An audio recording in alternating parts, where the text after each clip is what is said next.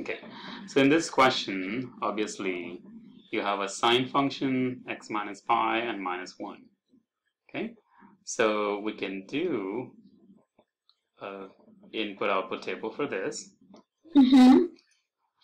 Uh, and then also we can write the transformations. So we have the x is, and then we can write a y is negative sine x minus, if you want to keep it as 180, uh, you can do that too, in terms of the degrees.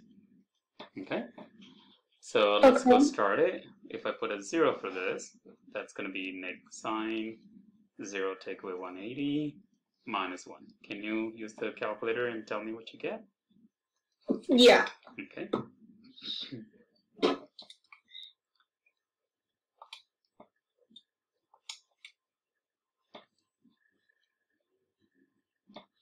Wait, uh, that's a zero minus one eighty. Mm-hmm. Okay. It's going to be sine negative 180. Negative one for the first one. Here, I'll write it. Okay, go ahead. That's Yeah. Okay. Now let's put it 90 degrees. I'm going to write down that one and go ahead and use the calculator. Okay. Sine 90, take away 180, and minus 1 at the end.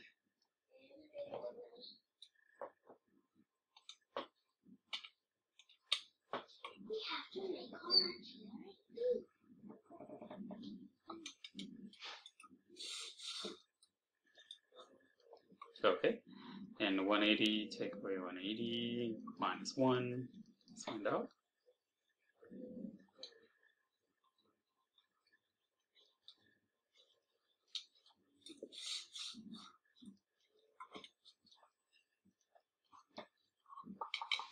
Okay.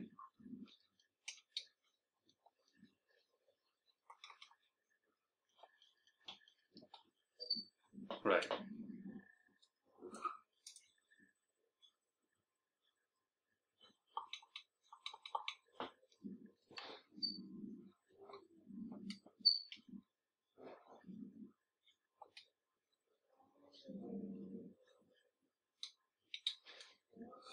Wait. Mhm. Uh. Oh, I did something. Oh, now I get where to go. Okay. Mhm. Yeah, so 270 take a 180 and minus 1. You apply the first sine and then subtract 1. So that way we can get the value out there. and then once we have this one, then we're going to graph it. And also we can talk about the transformations, how it's transformed from the base or parent function of sine x. Okay, so you got these values, so we can just uh, draw that sine x. All right, that's good. Okay. Uh.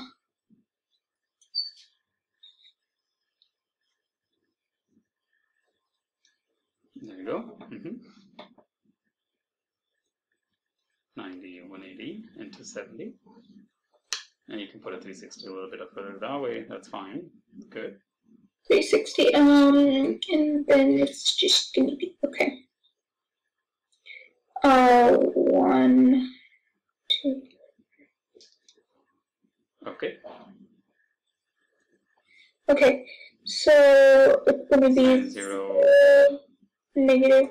Oh, okay, oh, yeah, let me do the. Okay. Or maybe change the color. That way. Yeah, that's what I'm doing. Okay, that's good. Right there. There you 90, 0. Mhm. Okay, so, all right, there you go. Excellent. So if you look at the graph from the equation point of view, now you see this minus 1 right here. Yeah, So our graph is shifted down one unit vertically. yeah. Okay, and also it's minus pi, which is 180 degrees.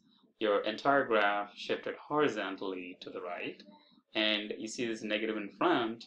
Our graph is reflected over the x-axis. Okay, and those are the transformations that we need to write it in terms of you want to write there too. Make sense? Okay. Y, sorry, X. Right, reflection over the x-axis. Okay, and then, um, Uh, sh- one a horizontal, no vertical, Vertical, very good. Vertical shift, vertical shift down. one unit down, One one unit down. Good. Okay. And then horizontal shift to the right.